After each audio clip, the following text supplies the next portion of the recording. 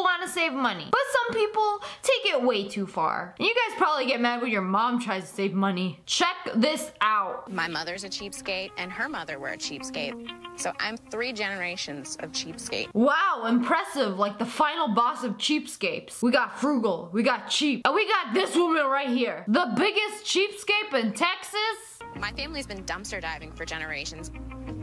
It's basically in my DNA at this point. My name's Angel Durr, and I am literally the biggest cheapskate in Texas. Excuse my curiosity, but I don't know if she dumpster diving for food or she's pregnant. Some people see dumpster diving as like a sport. I don't see it that way. I just see it as something I have to do in order to, to get what I want for the price that I'm willing to pay, which is nothing. Okay, so I need groceries, I need a new dining table, and I need a new sofa, but I don't want to pay anything for them. You know what? I don't want to pay anything for anything because I can find it in a dumpster. Okay, Ms. Durr? I found that if you come late in the evening, that's when cops tend to want to come around. So I try to do it in the middle of the day when people are working and stuff like that. Uh, there's a pregnant lady diving in my dumpster. Like with, with a stick. One of the main things that I look for when I go dumpster diving now are, are medications, especially prenatal vitamins. I research all medications before I take them, and I've been doing this a very long time. Hold on. So she's pregnant, she's dumpster diving for medication. Ah, I'm not a, I'm not a doctor or a professional or anything, but there's probably biohazardous material in there mixed in with your medication that you're finding. She's like, I research all the vitamins, it's okay. I research all medications before I take them, and I've been doing this a very long time. Maybe because the research doesn't tell her, hmm, you shouldn't get your vitamins from dumpsters. Maybe she thinks it's okay because those sites don't have a specific warning that says, do not get medication out of the dumpster. Thank you. I mean, the freaking medication says, do not take if seal is broken. She's taking this to a whole nother level. By foraging through dumpsters behind pharmacies and hospitals, 25 year old Angel Durr has managed to save more than $350 on vitamins and medications over the course of her eight month pregnancy. Hold up. Just like I said, if you're getting medication from a dumpster that belongs to a hospital, it's gonna be biohazardous shit in there.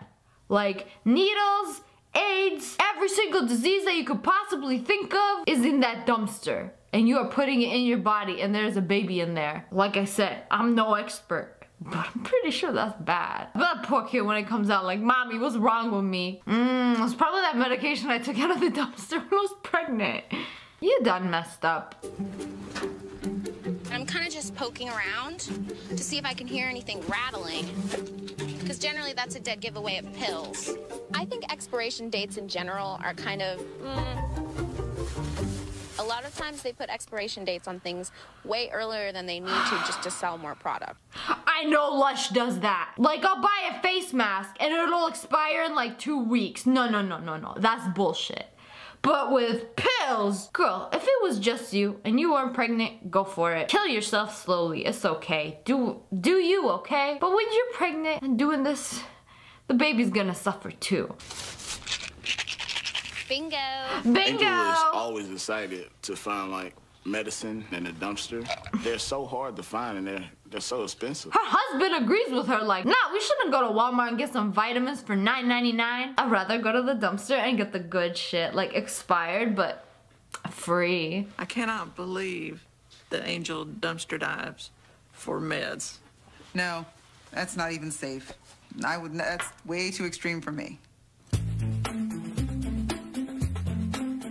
We recently bought a house primarily because of the fact that we were about to have a child. Wow, they bought a house. I'm surprised she didn't just find somewhere abandoned. Just decide to live there.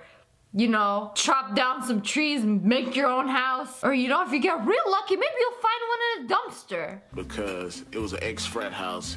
It was in horrible condition. And it had a funky odor, to say the least. I mean, it was a party house. Angel and Orlando have both renovated and furnished the 3,400 square foot home without spending a single penny. Hold up. They renovated an entire house not spending a single penny. You know what? Challenge accepted. I can actually do that. Like when I go for a walk in my neighborhood, people have like nice ass couches, dining sets, mattresses out on the street that they're throwing away. And you know, anybody can just take those, pick them up free. To our house, we make a point to say, hey, that came out of a dumpster. And then usually people are kind of taken aback, but at the same time, they're kind of like, oh, wow. We've been doing this in my family for 60 plus years. So we know what we're doing. We've been passing it down from generations. 60 years of dumpster diving. We know how to do this. We go to the free section on Craigslist and we drive around the expensive neighborhoods and pick up their trash. You know, see, that's where you get the good stuff from. She was a child of depression. Everything has a purpose. The angel seems to love it. She enjoys it. It's like a rush for her. She told me I find stuff in the dumpster, it's like Christmas. I thought about it and I was like, man, it is kind of like Christmas. you get all this free stuff. I mean, at least he's like hella supportive of her. Like, yeah, man, it is like Christmas. Our whole house free. Most expectant parents can spend around $5,000 furnishing a new nursery. Angel and Orlando have collected the same pieces for free. We found a lot of different furniture that we're going to be using in the nursery, and it's actually a complete set that we've managed to get out of dumpsters.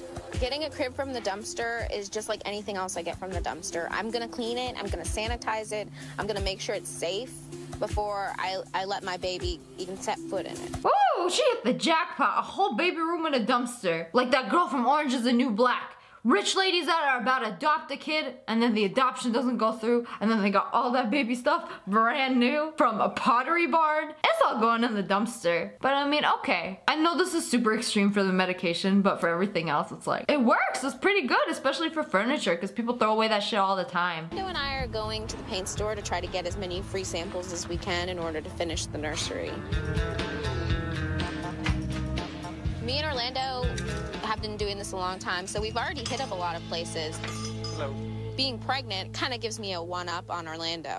What size nursery are you painting? Um, I'd say it's a pretty standard size room. So all that paint to paint her room, she gets for free in samples. Girl. How much are your samples? We have samples for two ninety nine.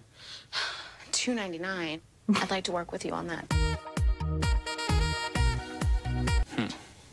How about free 99? Free ninety nine. How do you feel about that? Free? Um, if you're gonna buy a couple of gallons of paint, maybe we can work out something Okay. But I wouldn't I wouldn't be buying any today. today. Maybe tomorrow. Maybe tomorrow. Or the next day. Okay. Well, I guess She straight bamboozled him. Yeah, let me get a couple free samples. How about free 99? free ninety nine. Yeah, I'll definitely come back and buy a couple gallons. So, like, what's a few samples? Maybe tomorrow. Maybe tomorrow. Or the next day. Okay. How you gonna bamboozle small business owners like this, my dude? Go to Lowe's, go to Home Depot. Oh, you gotta pay, there's no negotiating there. You gotta scam the good, hardworking people of America. She was a very nice lady. she was decorating a nursery, so thought I would help her out. I approached it like I approached every situation. I just, you know, was nice and sweet. And I always think that you get more flies with sugar than you do with vinegar. So Yeah, being sweet. More like bamboozling the poor dude. So she's chosen dumpster diving as a way of getting the things she needs for free. They got a stroller in here. Really? Damn, they hit the jackpot. Woo! We got a baby stroller in here. We got a we got a car seat. Oh, those dumb moms, they spent twelve thousand dollars on their first year of having a baby. Watch me do it for twelve dollars. But anyways, that's all for today. I hope you guys enjoyed this video. If you did, make sure to hit that like button in the face and subscribe join the wolf pack. Ow!